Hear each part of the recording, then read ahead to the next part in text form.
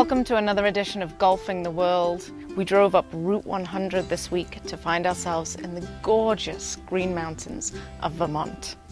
Today we're going to play Mount Snow Golf Club and introduce you to some spectacular mountain golf. People that uh, play the course for the first time are just absolutely blown away by the views. You know, it's very scenic. Uh, almost for all 18 holes, you get great views. Uh, it's very serene, it's quiet. Uh, you are truly out in the middle of the Green Mountain National Forest. The best part about this area is that we have lots of activities that can kind of fit whatever adventure you're looking for. So there's really a little bit of something for everyone. What a wonderful opportunity to come and play here at Mount Snow Golf Club in these gorgeous Vermont mountains. Come check it out for yourself on Golfing the World.